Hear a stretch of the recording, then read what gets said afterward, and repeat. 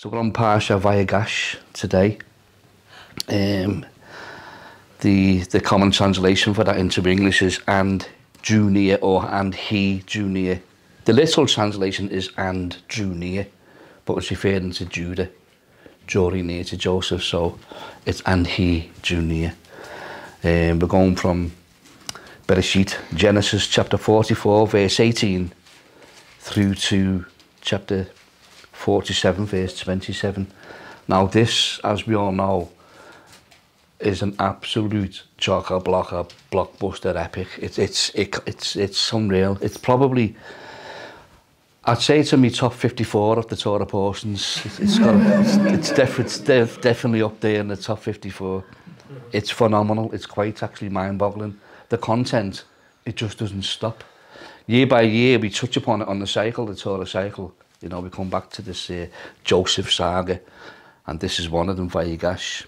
And um, new things come to light each year. It just doesn't stop. It just doesn't end.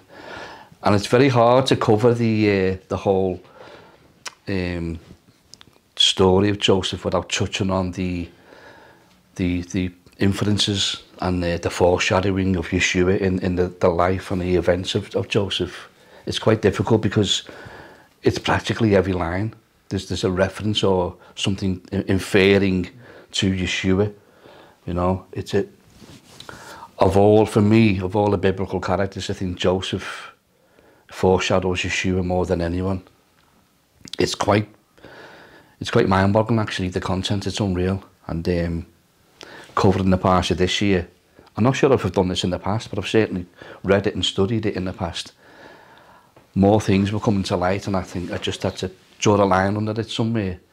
So although today's parsha might be longer than usual, it could have it could have gone on for a week and I'm, I'm, I'm being serious, I'm not exaggerating, it could have gone on for a week. But as with most things, that start getting a bit um, quant quantity wise a bit much. You have to draw a line somewhere and say it'll have to just cap it there, you know. Um, it's the same when you, you, you might be working somewhere and you, you, you're preparing a job and you've got a massive wall to paint, for example, and you need to prepare the wall first. And some walls um, need that prep, much preparation. You could be there for weeks and weeks and weeks. So somewhere along the line, you just got to draw a line under it and say, this will have to suffice. And uh, in the future, you can always return to it if need be.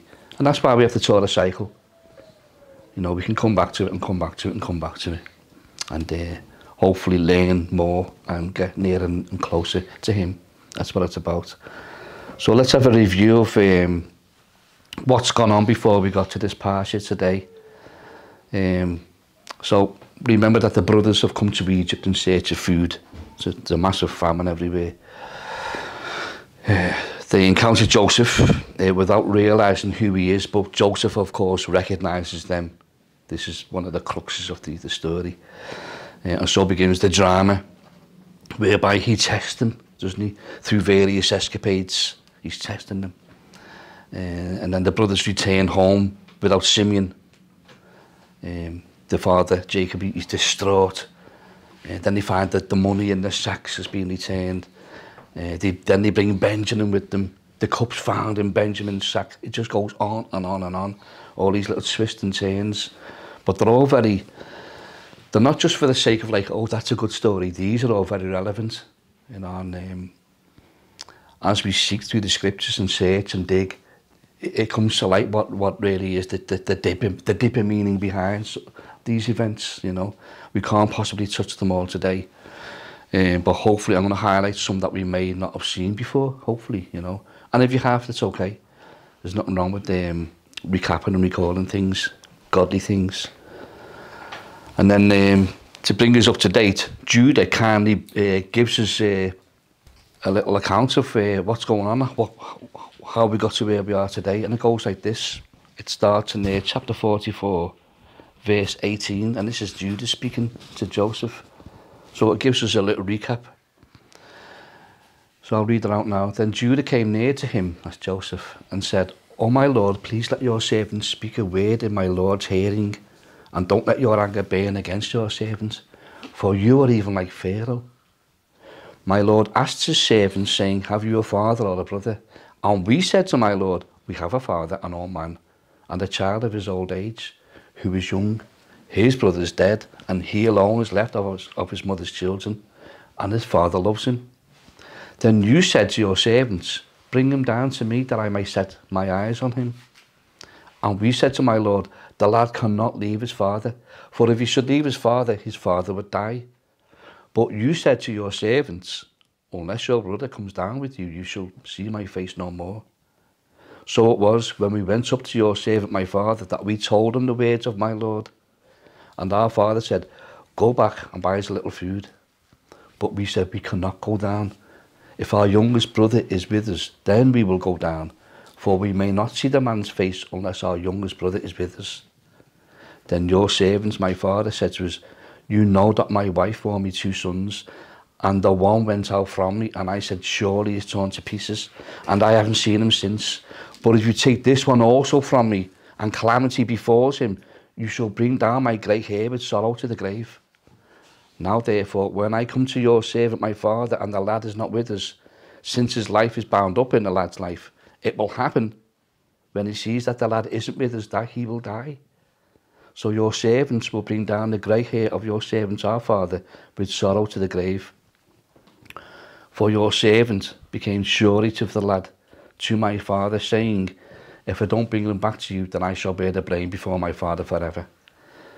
Now therefore, please, let your servant remain instead of the lad as a slave to my lord, and let the lad go up with his brothers.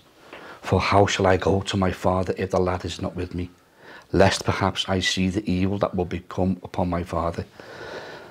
So this beginning of the parsha basically is a perfect recap of where we're up to that Judah gives us here. And today we're gonna what we're gonna see today is um, as I mentioned, this um, story surrounding Joseph is, is um, I think it's unparalleled to be honest. I think it's unparalleled. It's hard to beat it. And if we consider the four elements of nature, earth, wind, fire and water, there are also four elements, core elements, that make up the, the basis of telling a story. Um, it's well known within the literature uh, circles that there are four core elements of telling a story, whether it's written or spoken.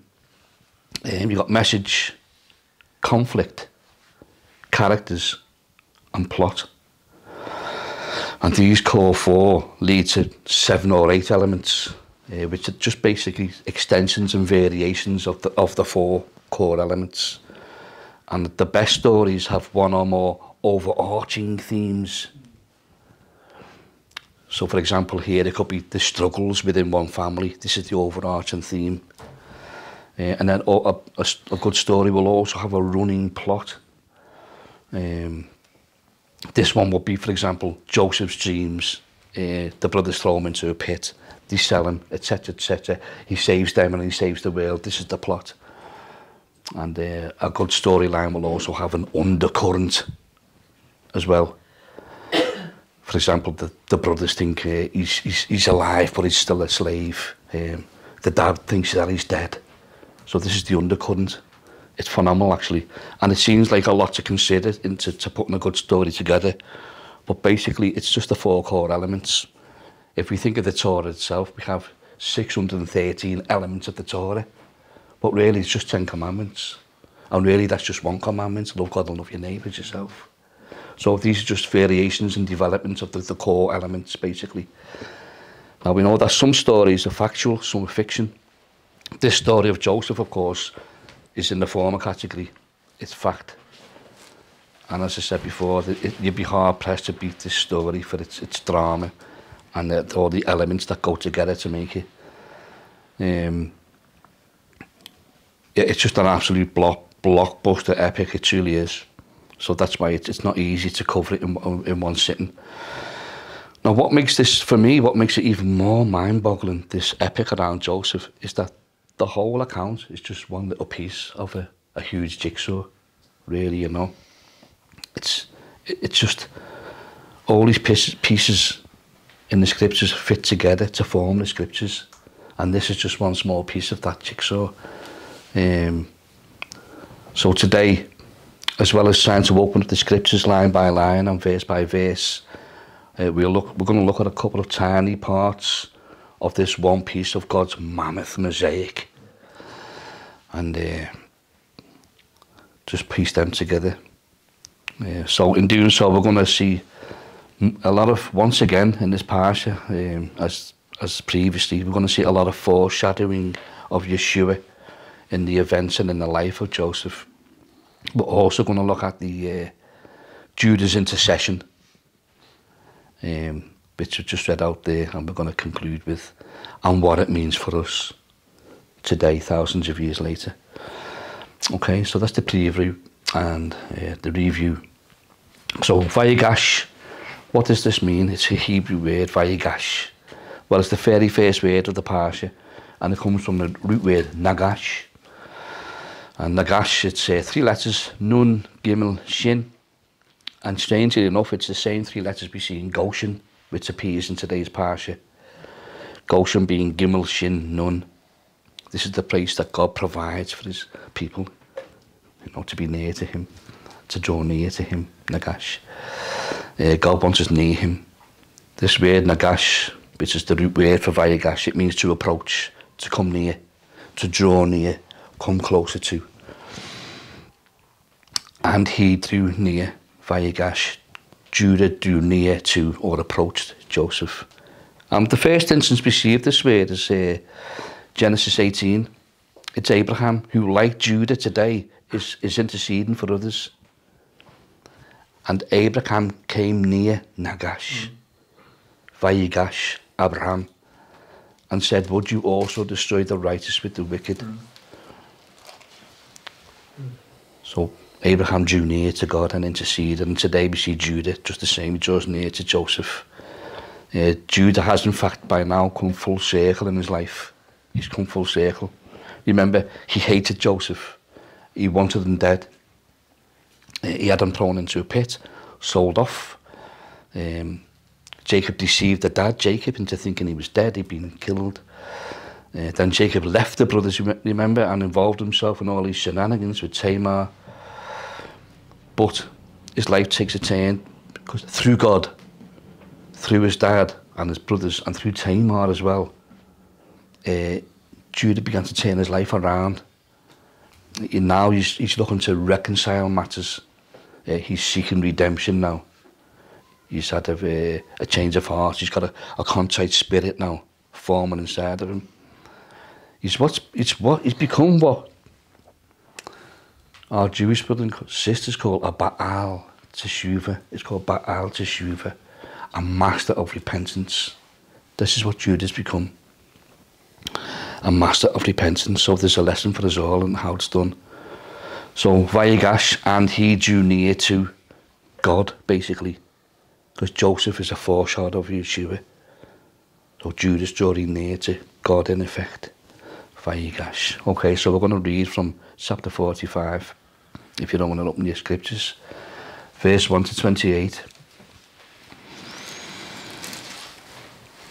Eh, what an epic this is too, too epic.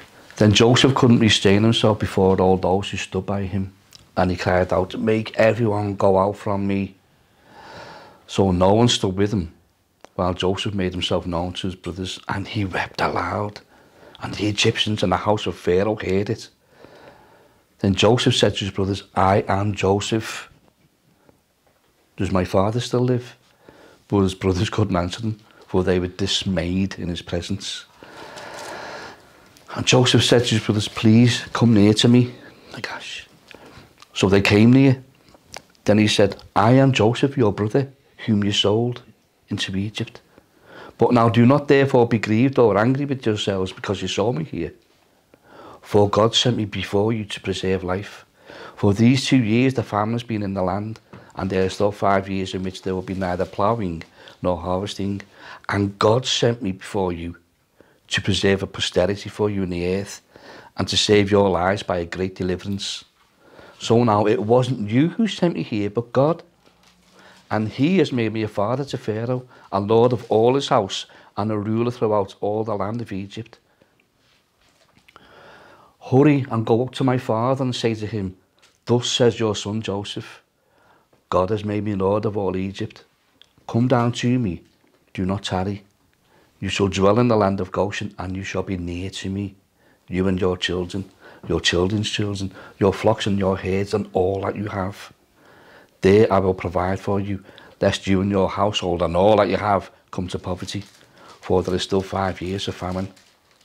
And behold, your eyes and the eyes of my brother Benjamin see that it's my mouth that speaks to you. So you shall tell my father of all my glory in Egypt, and of all that you've seen, and you shall hurry and bring my father down here. Then he fell on his brother Benjamin's neck and wept, and Benjamin wept on his neck. Moreover, he kissed all his brothers and wept over them, and after that his brothers talked with him. Now the report of it was heard in Pharaoh's house, saying, Joseph's brothers have come. So it pleased Pharaoh and his servants well. And Pharaoh said to Joseph, Say to your brothers, do this, load your animals and depart, go to the land of Canaan, bring your father and your households and come to me. I will give you the best of the land of Egypt, and you will eat the fat of the land. Now you're commanded, do this, take carts out of the land of Egypt for your little ones and your wives, bring your father and come. Also, don't be concerned about your goods, for the best of all the land of Egypt is yours. Then the sons of Israel did so, and Joseph gave them carts according to the command of Pharaoh, and he gave them provisions for the journey. He gave to all of them, to each man, changes of garments. But to Benjamin he gave 300 pieces of silver and five changes of garments. And he sent to his father these things, ten donkeys loaded with the good things of Egypt, and ten female donkeys loaded with grain, bread, and food for his father for the journey. So he sent his brothers away, and they departed. And he said to them, See that you don't become troubled along the way. Then they went up out of Egypt and came to the land of Canaan to Jacob their father. And they told him, saying, Joseph is still alive and he's governor over all the land of Egypt. And Jacob's heart stood still because he didn't believe them. But when they told him all the words that Joseph had said to them, and when he saw the carts that Joseph had sent to carry him, the spirit of Jacob their father revived. Then Israel said, It's enough. Joseph, my son, is still alive. I'll go and see him before I die. Incredible, dramatic uh, storyline this, it truly is. There's so much in it. As I said at the outset, it's impossible to cover it all in um, one, a, a few cycles, never mind just one sitting. I mean, there's, there's, a, there's the whole story of Benjamin and the relevance of his part in all this. I, I can't even touch that today. But we will look at other things. Okay, so verse 2. This is the revelation of Joseph. And he wept aloud, and the Egyptians and the house of Pharaoh heard it. Now, he wept aloud. He's not sad or miserable here or devastated. These are tears of joy. Um, he's overcome with uh, elation, basically. You know, I often see. Um, I like to watch football. Um, well, actually, I don't. I used to, but I just watch the best football team in the world. I only watch Liverpool now. Um, I don't watch it. I've, thought, I've sort of fell out, out of love with the game because it's become very commercial. So I'll just watch my beloved Liverpool. But when I see um, a team playing against Liverpool and they, they can't beat Liverpool and so they can't win the cup, and then the players are lying on the pitch at the end of the match crying. and I'm thinking, come on, get a grip. Pull yourself together. Just because you couldn't win the cup, you want to start blubbering tears. It's pitiful. You know, you tried your best, that's good enough. If you've tried your best, that, that's good enough. But um, there's always another occasion. You can go again, you can pick yourself up and go again, you know. Um, for me, you cry when you win, not when you can't win. You cry when you win, you know. You're supposed to be overjoyed, full of elation, you know. So much so that tears come out and you, can actually like so you can actually like like you're weeping. Something really beautiful, victorious, something, you know, and it makes you cry. Um, so for me, Joseph wept through overwhelming joy. You know, when we see the word wept, you think someone's sad and they're sobbing, but this was joy, elation. This is an all-round great victory, and Joseph is overcome with elation. And he wept aloud, and the Egyptians in the house of Pharaoh heard it. So Joseph makes himself heard. Now remember, Egypt represents the world. Biblically, most of the time, Egypt represents the world. So the world hears, the world's going to hear. And you consider the book of Revelation, all the loud voices and the loud sounds we hear. Um, especially Revelations 1 and 11. Revelations 1, the loud voice as of a trumpet, and it's Yeshua being revealed. Revelation eh, 11, loud voices, roars, rumblings. Yeshua's revealed to the world.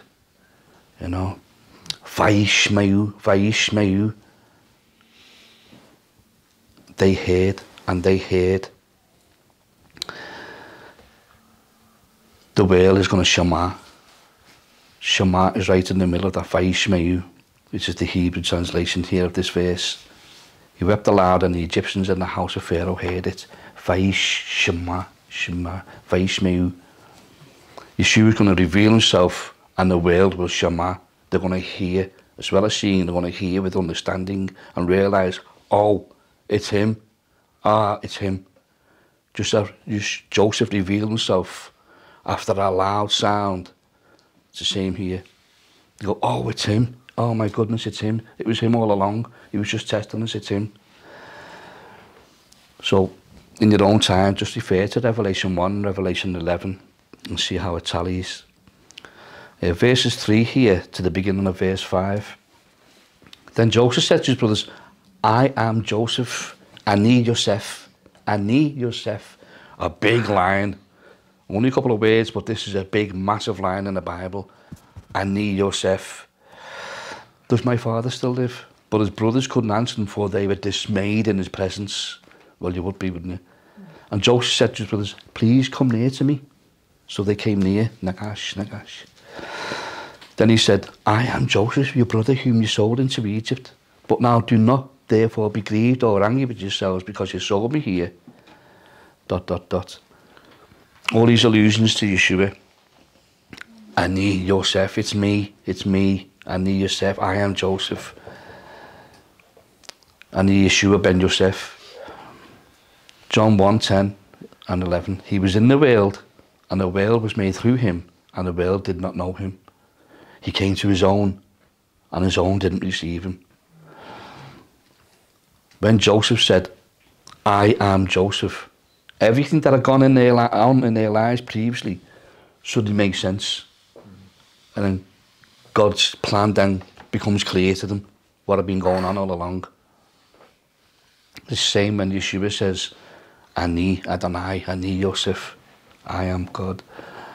The eyes of the world will be open, open and everything will become clear. Ah, now I understand now I understand. This is what's happening here. These allusions to Yeshua in the life and events of Joseph. Continuing, uh, 45 verse 5b to 8a, the end of 5 to beginning of 8. For God sent me before you to preserve life.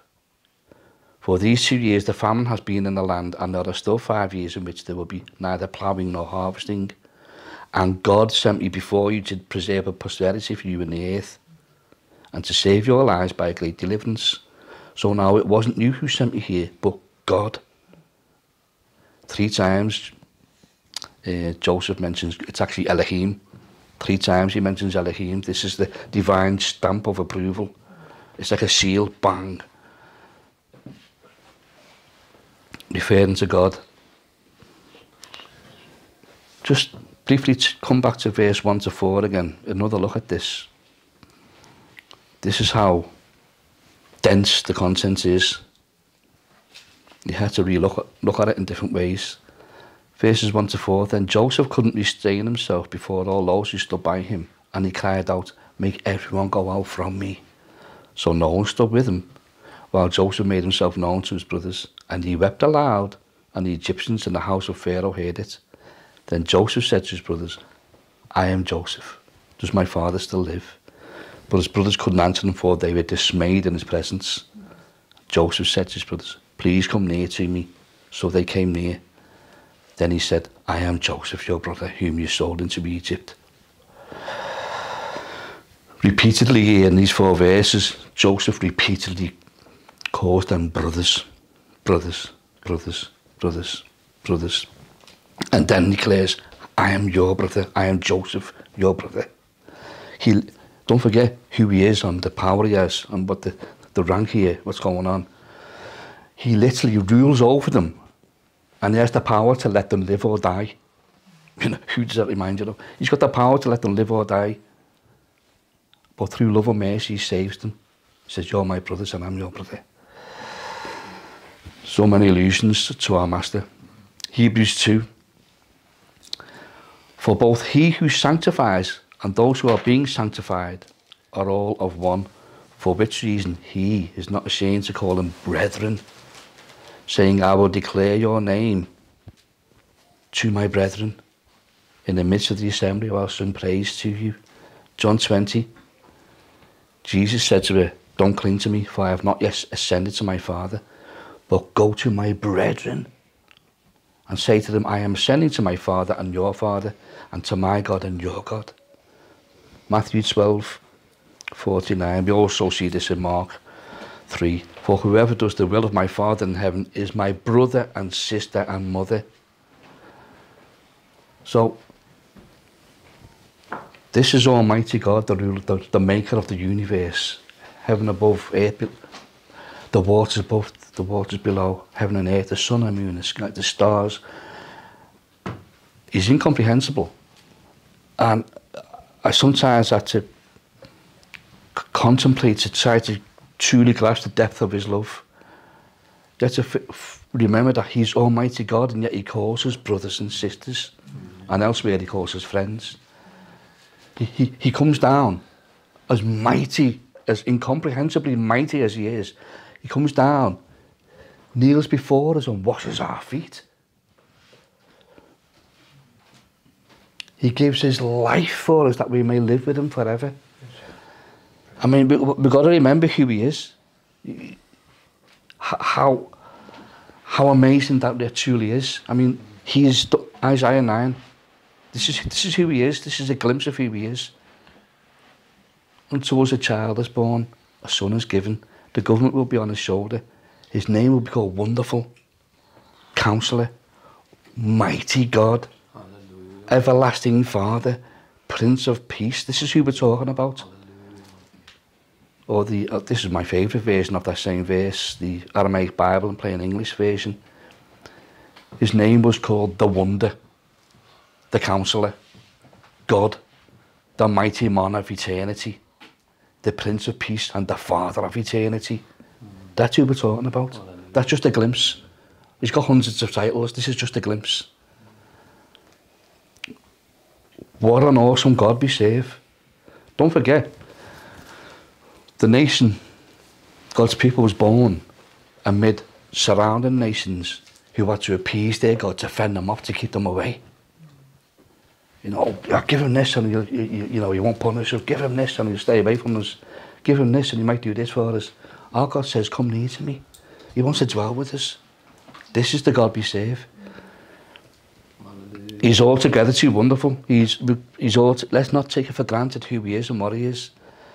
He is so unfathomably almighty and yet so humble as to call us friends and siblings. It's, it's beyond me. It's beyond comprehension, truly. And this is why his brothers couldn't answer him when he revealed who he was. Same with Yeshua. 45.3 But his brothers couldn't answer him for they were dismayed in his presence. Think of Luke 24. This is at the Yeshua's resurrection when he appears to the disciples, his friends, his brethren. And he said to them, Why are you troubled? And why do doubts arise in your hearts? They were dismayed in his presence. It's the same scenario going on. They were dismayed. Oh, oh, okay. Now, this word dismayed, it doesn't really do it justice as to how they felt. Uh, the brothers in front of Joseph when he revealed himself, or also the disciples in front of Yeshua when he revealed, said who he was, it's me, it's me, and he. This dismayed, here's some synonyms for it. I give you an idea of what, how they felt. Anxious, apprehensive, discouraged, distressed, fearful, frightened, horrified, intimidated, nervous, perplexed, perturbed, scared, shocked, spooked, startled. So where it says they were dismayed in his presence, you could have put all them in. They were bum, in his presence. Well, you would be, I would be. I'll be all of those. They thought he was dead, and here he is before them. it's me. Oh, you know, Joseph, Yeshua. And Joseph has to convince them because they're in the disbelief. They're just totally in disbelief, and he has to convince them. Verse 12. And behold, your eyes and the eyes of my ben brother Benjamin see that it's my mouth speaking to you. It's, it's me. It is me, by the way. Look, this is my mouth speaking to you. Your witnesses. So Joseph has to convince them, it is me, look. Just like Yeshua, John 20. Then he said to Thomas, reach your finger here, look at my hands. Reach your hand here, put it to my side. Do not be unbelieving, but believing. There's so many instances of foreshadowing we Yeshua in the events and life of Joseph. You can look at this verse 4 and uh, again. Joseph said to his brothers, please come near to me. So they came near. Then he said, I am Joseph, your brother, whom you sold into Egypt. Near to me, they came near. This is Nagash again, Nagash. The root of today's Parsha, Vayigash, it comes from Nagash. Joseph saying, come near to me. Yeshua says, come near to me. Yeshua wants us to nagash to him, to approach him, to draw near. We are to come closer to him. He says it himself. Matthew 11. Come to me, come to me. Nagash. All you who labour and are heavy laden, I'll give you rest. It's beautiful, it's beautiful. Verse 9. only on verse 9. Verse 9, hurry and go to my father and say to him, Thus says your son Joseph. In other words, go to the Father in my name. Go to the Father in my name, in the name of... It's like when we pray, it's the Lord's Prayer. Go to the Father in the name of the Son. You know? In Yeshua's name we pray. Go to the Father in my name. Go to my Father and say to him, Thus says your son Joseph. Praise God. He even says to us in the gospel accounts, and what you say in my name shall be done for you.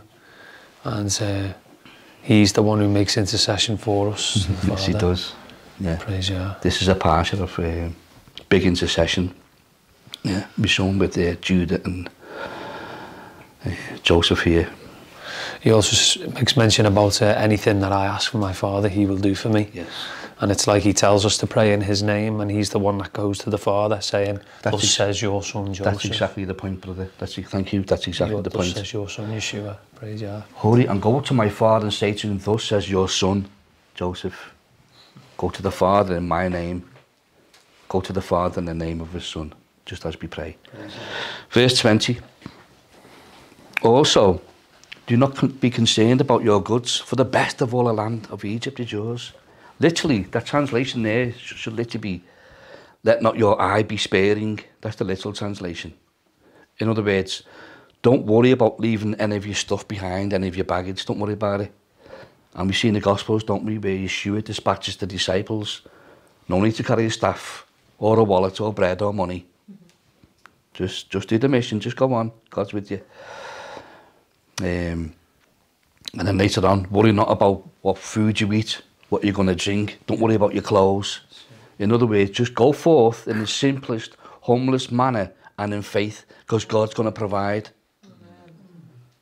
So many illusions to the Gospels and Yeshua.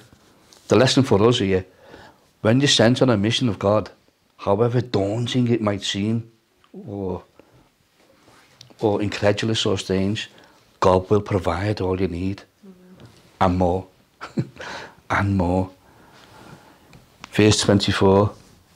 There's a couple of versions here. You've got the New King James, which we, we usually quote from, and also the King James. So he sent his brothers away, and they departed, and he said to them, See that you do not become troubled along the way. KJV. So he sent his brethren away, they departed. He said to them, See that you fall not out by the way. So you think, well, which, which is it? Is it do not become troubled, or is it don't fall out? So we go to Hebrew the original version. And where it says, fall not out or do not become troubled, that verb there is ragaz. Ragaz. And it means excited or agitated. So he's saying, don't become excited or agitated. And it also means to quiver or to tremble with anger or fear, which makes sense because anger or fear induces trembling or shaking, doesn't it? When you're really angry or really fearful, you, you, you quiver, you tremble. So this is what he's saying to them. He's more or less, so essentially he's saying, don't get angry with each other and start arguing on the way. And you think, well, well, why would they start quarrelling on the way? He says, don't quarrel on the way. Well, why would they quarrel on the way? You think everything's hunky-dory. Joseph's alive, he's, he's going to save us, we're going to get bread. We're going to eat, we're going to live, he's going to give us the best of the Egypt. We're going to bring me dad back, he's going to be made up. So you're thinking, well, why would they argue? Why would they quarrel? Well, Joseph was justifiably concerned that they might quarrel on the way.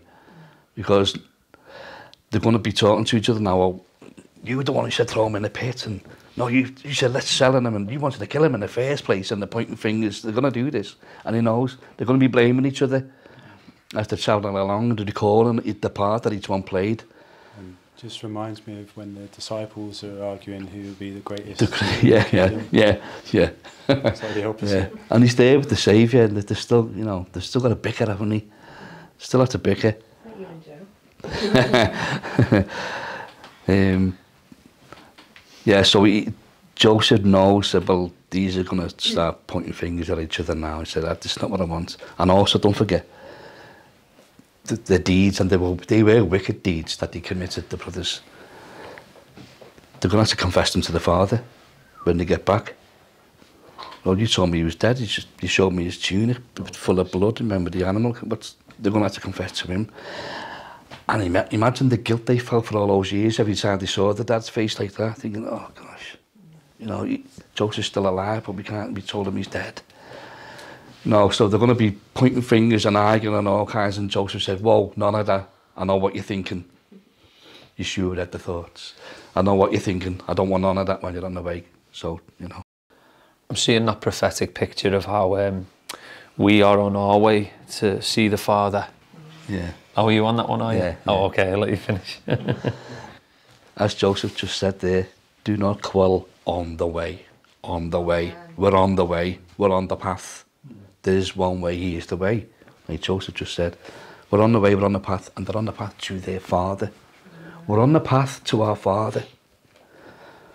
So the lesson here is we shouldn't be bickering among ourselves. We're all on the path, we all want to get to our father. We don't bicker among ourselves. We're supposed to build each other up and edify one another. There's the lesson here. Do not quarrel on the way. You're supposed to be on the path to your father. Do not quarrel. Same in Yeshua in John 13. A new commandment I give to you, that you love one another as I have loved you, that you also love one another. This is what Joseph's saying. Look how I've loved you. Now don't you start messing around with each other. I want you to love each other. No, you're on the way to your father. Verse 26. And they told him, saying, Joseph is still alive and is governor over all the land of Egypt. And Jacob's heart stood still because he didn't believe them. Now, as a side note, Hebraically, the heart is the seat of thought and intentions. It's not the head as we were taught in the West or as we believe in the West, it's the heart. Just like the kidneys is the seat of emotion, etc. The heart is your thoughts and your intentions. That's where they come from. This is why God weighs the heart. Jacob's heart stood still because he didn't believe him. They'd lied to him before, and this is the fate of people who lie. This is their fate. When a liar speaks the truth, he's not believed. The brothers lied to the father when they dipped Joseph's coat in the blood of our goat, and he believed them. But now he's telling them the truth. He doesn't believe them. you know? It's like the, uh, the boy who cried wolf, or like I like to say, the boys who cried wild beast, mm-hmm. or like the boys who cried living evil. Yeah, look that one up. The boys who cried living evil. Even a lie is not believed. Verses 26 and 27. And they told him, saying, Joseph is still alive and he's governor over all the land of Egypt. Jacob's heart stood still. He didn't believe them. But when they told him all the words which Joseph had said to them, and when he saw the carts which Joseph had sent to carry him, the spirit of Jacob, their father, revived. Now, there's a lot in that little passage there. Jacob's heart fails him, but then his spirit revives when they told him all the words which Joseph had said to them, and when he saw the carts which Joseph had sent. So he's thinking, is there something about the carts that made him realise, oh yeah, Joseph's alive then? That there might be, and I, I don't know, there might be, there may be, but I don't know, and I couldn't see anything, so I, I left it. There's homework for you all, homework. Jacob's spirit revived when he saw the carts and heard the words. Uh-huh. So I'm thinking, was there something about the carts? I don't know, but there may have been, you know. Because it's when he saw the carts and heard the word that Joseph said, that's when he revived. Yeah, yeah. So there's midrashes talking about, is there something about the carts? And some say, well, do you stack the certain way that Jacob would know, well, it, Joseph has done that. So I, I looked a little bit and thought, well, I just, I'm going to go on the words rather than the carts. The horse then. Well, well, I was thinking something similar to that. Like when we, when we, uh, when Yeshua is governor over all the world, um, he comes back uh, with his angels, doesn't he? And his angels go from each corner of the world to gather and collect. And uh, he maketh his angels flames of fire as chariots.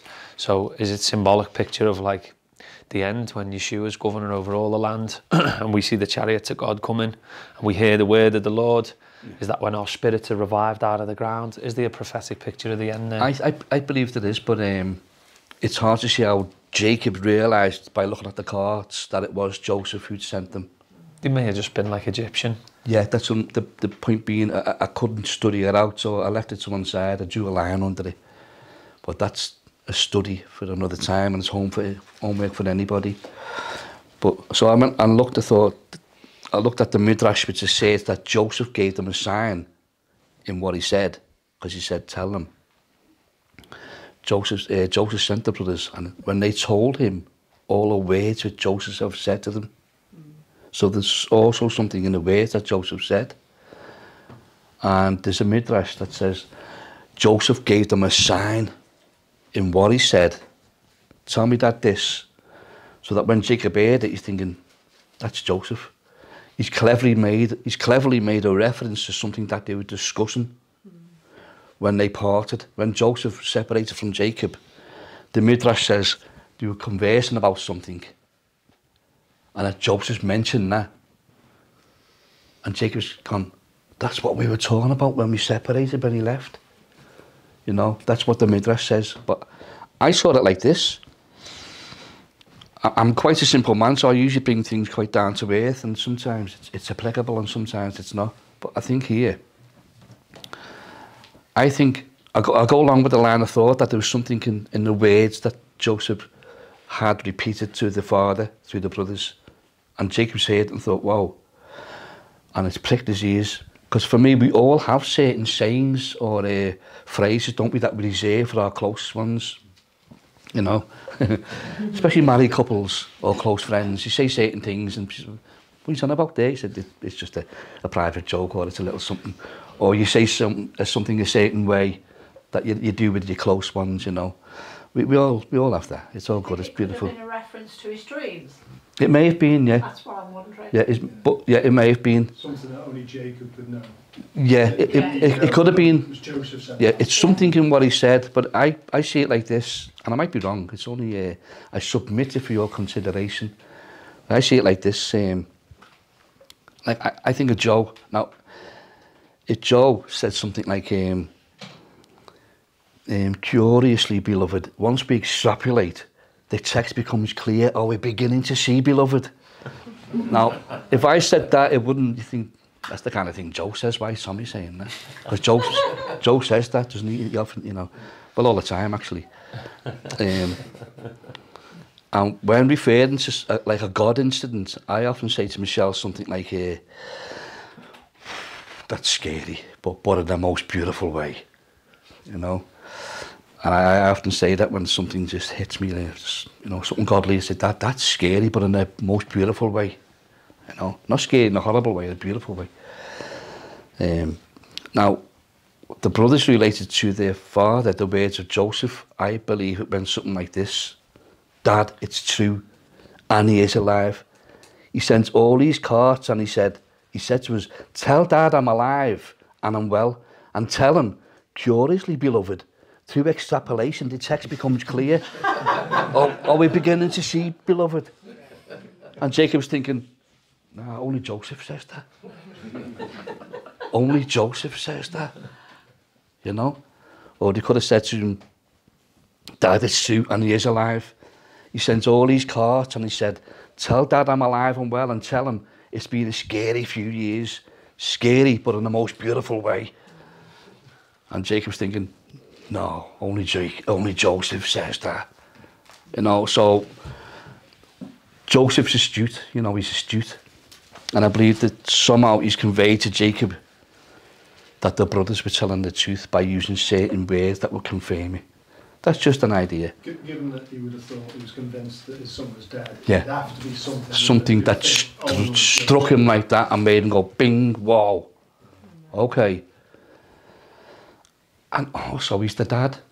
And when it originally happened, he said, look, is this his garments that's dipped in blood and um, he's died and all that. It's hard for one person to convince someone when they're lying, but for, for 10, or how many was there, 10, 11 of them, all the brothers together, he's, pro- he's probably looking around thinking, something's not right here. Something's not right. You know, he's the dad and he knows them. He's seen them growing up. He knows when they're lying and when they're not and when they're sort of like won't look at him and being a bit sheepish. You know. So, although he was told that Joseph was dead, I think in his heart and deep down he's thinking, is he? What have they done? Did they kill him or has he just run away or what's happened? I reckon he had a, a, a, glimmer of doubt and so therefore a glimmer of hope. And then when this has come to pass, he's thinking, I knew something was, wasn't right when they originally said he was dead. And then when they've said these certain words, he's- gone, oh my goodness, that's Joseph. Only Joseph would have said that. You know. Isn't it curious as well how none of their sin gets raised before the Father? I know that we discussed that they're actually going to the Father with the tail in between their legs, and now they've got to say, "Oh well, look, this is what we did. We dipped his cloak and we sold him." But none of that, none of that is even mentioned to the Father. In, in the it's like- scriptures. Yeah, and it's like, As you read, you mean? Yeah. I'm sure they did confess. well, it's like it's not there because like when we go before the Father, uh, he he paid the price for us, didn't he? And it's like none of our sin will be accounted. Um, so I just seen Beautiful. just yeah, just a picture saying, in yeah. the text there. Yeah. You know, you don't see them saying this to the Father. So it's Joseph, the son, his son, beloved, that reveals it. yeah, yeah, yeah, yeah, He, yeah. he also does the same to those in, in Egypt as well. He mention, he only says that he was kidnapped uh, as a Hebrew. He never mentions anything to anyone about what his brothers did to him for the Wow. whole time. So when it is revealed, he tells everyone to go away, thus maintaining the, the, the sanctity and the uh, the reputation of his brothers. The, the face, saving face. Beautiful, beautiful, brother. Bless you. Verse 27, the end of 27, going into 28. The spirit of Jacob, their father, revived. Then Israel said, It's enough. Joseph, my son, is still alive. I will go and see him before I die. Now, we've seen this elsewhere in the Bible, haven't we? An interchange of the names Jacob and Israel. And I've read before that it, it signifies that he, he's, he's conquered here, he's, con- he's, he's overcome something. Um, for, for it, in this example, grief. I.e., when his crushed spirit was revived, Jacob now becomes Israel. And I used to go along with that, but there's an example here that puts doubt on it, sheds a bit of doubt. So I'm not really sure that we put too much emphasis on the reason being that that's why the names change. As if like, well, he's called Israel when he's in happier and more celebratory occasions, and he's called Jacob when he isn't. Because if, back in verse 6 of chapter 43, his title is Israel, and yet he's, he's in the midst of torment. Why did you deal so wrongfully with me as to tell the man whether you still had another brother? So he's thinking, no, you're not doing this again to me. Why did you tell him you had another brother? And then he goes on to explain, well, we didn't know. He was, he was just asking his questions. We didn't know he was going to ask him to bring him. But the point being, his name's Israel at this point, and he's suffering a lot of grief and torment. So to say that he's called Israel when it's all hunky-dory and he's called Jacob when it's not, it's too s- simplistic to say he's called Israel when everything's great and he's called Jacob and it's not. And there's a verse to say, well, actually, hang on, there might be something else. Yeah. I think it's when he's operating in the flesh or the spirit. Okay, good shout. Yeah, and, and to hear in this part, he, he could be sincere in what he's saying, but if the brother wasn't taken into captivity, none of them would, the outcome wouldn't be fr- that they, that they found uh, freedom through him. So this is, this is what links to the reveal. Okay, So this is still part of God's Good, plan. yep. And there's more study for everyone there. These things are beautiful to study out. But it's just something to consider, you know. Okay, we're going to continue and we're on chapter 46. I'm going to read verses 1 to 4 to begin with. So Israel took his journey with all that he had and came to Beersheba and offered sacrifice to the God of his father Isaac. Then God spoke to Israel in the visions of the night and said, Jacob, Jacob. And he said, Here I am. So he said, I am God, the God of your father. Do not fear to go down to Egypt, for I will make of you a great nation there. I will go down with you to Egypt, and I will also surely bring you up again. And Joseph will put his hand on your eyes.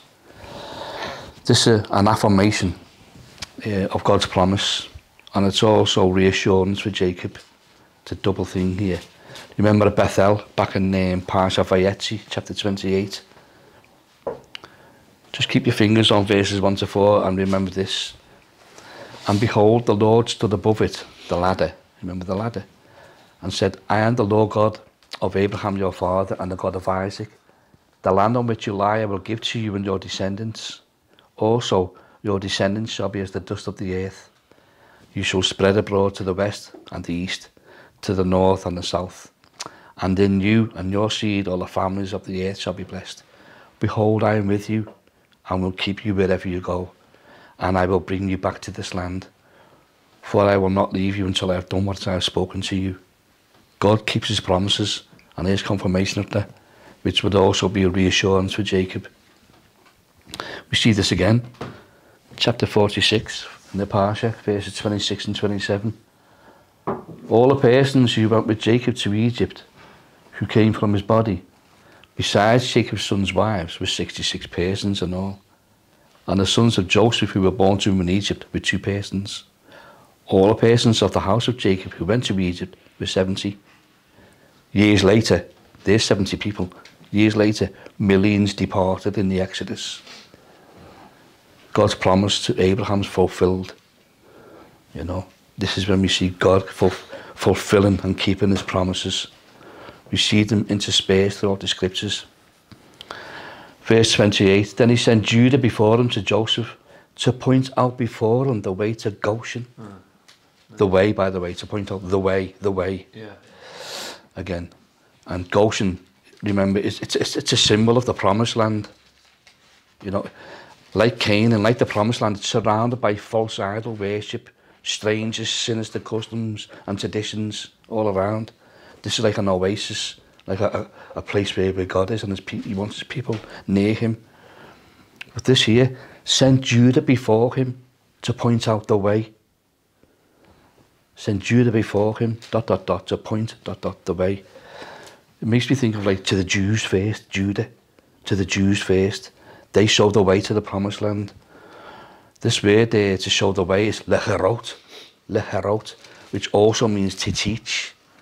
Now, our Jewish brothers and sisters are being dispersed throughout the world in order to reach and teach and to influence all peoples in Torah. God's instruction manual for his people. He sent Judah before him to point out the way. I just thought that was, um, it just stood out for me. Verse 31. Then Joseph said to his brothers and to his father's household, I will go up and tell Pharaoh and say to him, My brothers and those of my father's house who were in the land of Canaan have come to me. This is another allusion to our Master Yeshua. Uh, John 17. John 17 in itself is a must read. For anyone studying out this parsha, just um, dip into John 17 as well. It's a beautiful, beautiful piece of scripture. John 17, verses 6 to 11. Don't forget what Joseph just said. I have manifested your name to the men whom you have given me out of the world. They were yours, you gave them to me, and they have kept your word. Now they have known that all things which you have given me are from you. For I have given to them the words which you have given me, and they have received them. I have known surely that I came forth from you, and they have believed that you sent me. I pray for them. I do not pray for the world, but for those whom you have given me, for they are yours. And all mine are yours, and yours are mine, and I am glorified in them. Now I am no longer in the world, but these are in the world, and I come to you. Holy Father, keep through your name those whom you have given me, that they may be one as we are. Those of my father's house who are in the land of Canaan have come to me, Joseph said. Verse 32 And the men are shepherds, for their occupation has been to feed livestock, and they have brought their flocks, their herds, and all that they have. This is in effect Jacob's flock. It's in effect it's Jacob's flock. Matthew 15. But he, this is Yeshua, he answered and said, I was not sent except to the lost sheep of the house of Israel, Jacob's flock. Um, as I said, this um, it's overflowing. This uh, epic saga of Joseph with messianic implications is just truly overflowing, and you can't touch on them all. I hope I just highlighted a few for you. So we're going to return now to the beginning of the Parsha. But we're going to return now to Judah's perspective. Chapter 44 from 18 to 34 is where Judah lays down his life in order to save others and to appease the Father. Matthew 10 He who finds his life will lose it. He who loses his life for my sake will find it. John 15 Greater love has no one than this, than to lay down one's life for his friends. We are to be humble and put others before ourselves as our Master has taught us repeatedly. Now, Judah refers to Joseph as a king. See where he says, You are like Pharaoh, you are as Pharaoh. Judah is referring to Joseph as a king, but he's referring to himself and his brothers as servants. This is Judah putting his life to one side. Abraham did the same, he interceded for others. Isaac, he was willing to give his life for God. Moses, we know what Moses did. He even said, Save these, you can block me out the book. You even block me out the book, but save these. Rahab, she risked her life. She gave her life for a godly cause. Esther, a young Jewish woman who risked her life to save others. There are many examples in scriptures. Here we see Judah putting his life down to save others. We have the ultimate, of course, which is Yeshua. He is the ultimate. But these are all types of Yeshua. You think so? How do we repay Yeshua? How do we repay the one who gave his life that we may live? We nagash. We draw near to him, become closer to him. We may not necessarily have to literally give our lives. Fortunately, thank God. But we are to be a living sacrifice daily. We are to serve him. We are to do his will over ours. Because how truly, how can you repay that debt? And these are ways I try to do it, and I uh, hope we all do. Yeshua said the greatest love is to lay down your life for your friends. And we can be his friends if we lay our lives down for him. We are to live for others. Love God and love your neighbour as yourself. You see, well, it's all well and good saying that, but how do you lay down your life for others? Well, the scriptures tell us. One example is you lend without reward. That's not necessarily your money, it could be your time, your energy, your thoughts, your compassion. Um, to listen. You know, you, you could you could say, come on, tell me what, what's wrong. I, come on, I'll listen to you.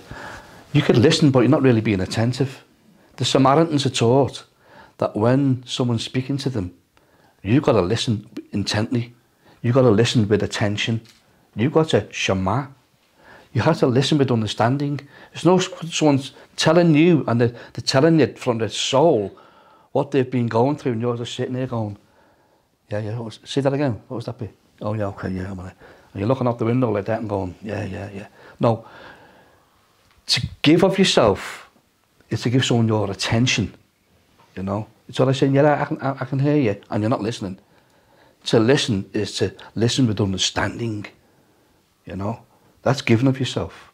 That's really that's the shama. And you say, well, is this being religious? Well, the mention the, the mention of religion is in the scriptures, and the scriptures tells you what true religion is. So that's our guide. You want to be godly? What does God really want? Well, we read it in James. Pure and undefiled religion before God and the Father is this to visit orphans and widows in their trouble, keep oneself unspotted from the world. This is the will of God, is to live for others. We are, to shama people. We are to love God and love our neighbour as ourselves. First John, for this is the message you heard from the beginning. It hasn't changed. It's, it hasn't, it stands forever. That we should love one another. This is how we live for others. This is how we give our lives for others. God says this is the message heard from the beginning that we should love one another. And further down in uh, 1 John verse 16. By this we know love, because he laid down his life for us. And we also ought to lay down our lives for the brethren. We're always being tested, people. We are. Joseph, it's we can see the events of his life, but really they're all tests. Not to tip him up, but to refine him. Judah went through the same in a different way. He went through many trials and tests. Not to tip him up, but to refine him. And we all go through tests, we're always being tested. Look, his will, God's will shall be done anyway. It's going to be done anyway. With or without us. You know, so you best you get on board. You want to get on that train. Get on the train, get on board. His will's going to be done anyway, with or without us. Going back to Esther, in the book of Esther, her uncle, Mordecai, he understood this. He says to Esther, remember, because she had a chance to save the people, the Jewish nation, didn't she? And he says to her, if you remain completely silent at this time, relief and deliverance will arise for the Jews from another place. In other words, it's up to Esther. He's going to save the, he's going to save us anyway. But do you want to jump on board with this or not? Mm. His will is going to be done anyway. Mm. Best you get on board. God's will shall be done. Get on board. Shema Israel. Love God and love your neighbour as yourself. Shema. Maybe finish the race and hear our Saviour say, Well done, my good and faithful servants. I tested you. You jumped on board. It was going to happen anyway, with or without you. Well done. Like Judah, we all have a past. And there's people we've wronged. And you can't turn the clock back. And it's not always possible through different circumstances to seek their forgiveness or to, to right the wrong. It's not always possible, as much as you'd like it to be sometimes. But if and when we draw near to God, Nagash, He can overwrite everything. He can overwrite it all. It's a clean slate. Our God, remember, is past, present, and future. You know, we we in our Western mindset, we tend to think of time as like a line going, like a straight line like that. There's the beginning, there's the middle, there's the end. That's not, time doesn't work like that. The Hebrews know this, Hebraically. It's not, we don't, time is not in a linear fashion. It doesn't lapse like that. Hebraic thought sees time as cyclical, cyclical. It's a circle. And there's no beginning, there's no end. And therefore, our deeds have ripple effects, not only into the future, but also into the past. Our deeds today, like a pebble in, that makes ripples in the pond, and the ripples go in all directions, not just like in a line like that. Our deeds today can affect not only the future but the past. As un- unbelievable as it sounds. Don't forget, God knows what you require before you even pray. He is past, present, and future. This is the God we deal with. Verse 30, 44 30, Judah interceding for bread, uh, Benjamin. Now, therefore, when I come to your servant, my father, and the lad isn't with us, since his life is bound up in the lad's life, he says, where it says life here twice, life, the lad's life, that's actually the word nefesh, which more often than not means soul in Hebrew. It means soul. Most times it refers to one's soul. So in other words, since his soul is bound up in the lad's soul, nefesh. Now if you look at, I'm thinking of ripples in the pond here, how our deeds can affect through time. 1 Samuel 18. Now when he had finished speaking to Saul, the soul, the nefesh of Jonathan was knit to the nefesh, the soul of David. Now Jonathan's the tribe of Benjamin. David's the tribe of Judah. And a couple of verses later, verse 4. And Jonathan took off the robe that was on him and gave it to David with his armour, even to his sword and his bow and his belt. Jonathan here is from the tribe of Benjamin.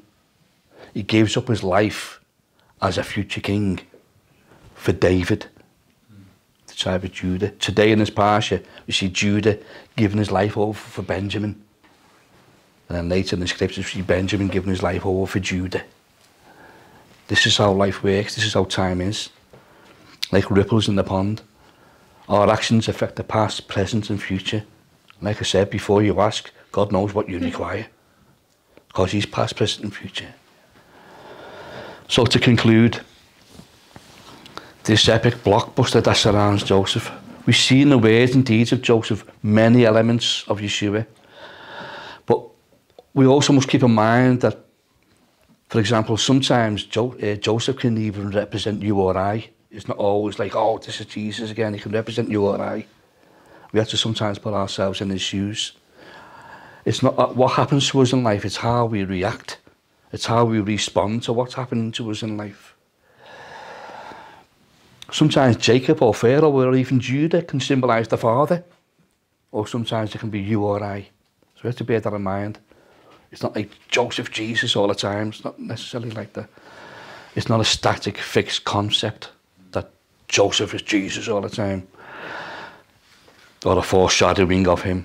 But that being said, it's difficult, nigh on impossible, to find a biblical character with more hints and references to Yeshua than Joseph. It's it's it's unreal. Um, Joseph, in his in his making himself known to his brothers, is is a type of Christ. Like Christ, he's their friend and their brother. He is the one they rejected and left for dead. He is the Saviour who rescues them and the world. He assures them of his love and the riches of his grace.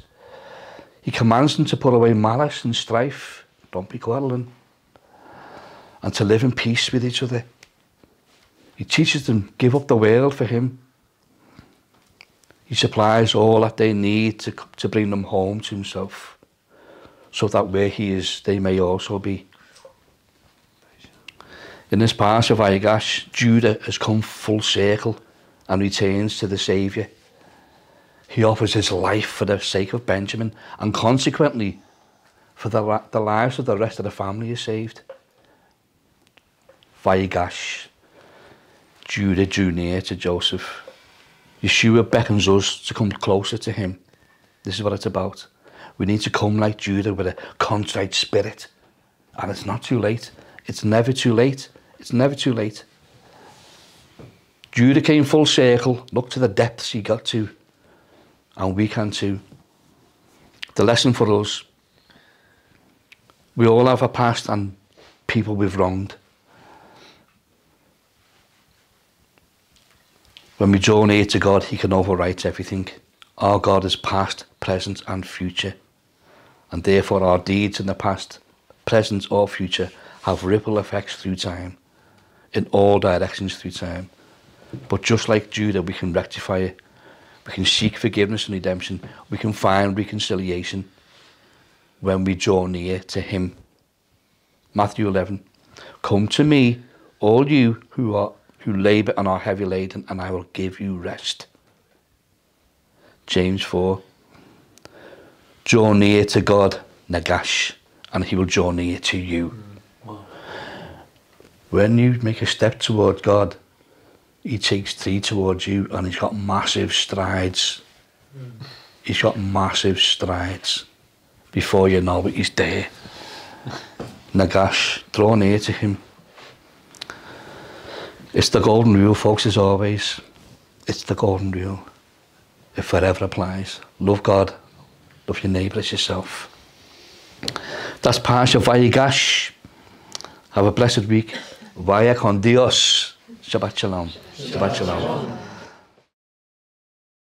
Shalom, I'm Jackie and this is Joe. We're from the Almond House Fellowship. A big thank you for staying till the end of the teaching. Just a little update on the Almond Grove project. This is a vision that's been given to us by Yah where we hope to acquire a plot of land where we can set up a generational ministry. Hallelujah. This would be a place where we could host Shabbat. We could do weekly Bible studies. We could even keep the Moedim, the feast days there. It'd be a place where we could have biblical education without all the world politics or pushed agendas. We want to be able to provide a place for agriculture and have ultimately a spiritual hospital for them that seek Yeshua. In the description, you can find a GoFundMe link where we have a video explaining all them details and also the option to donate.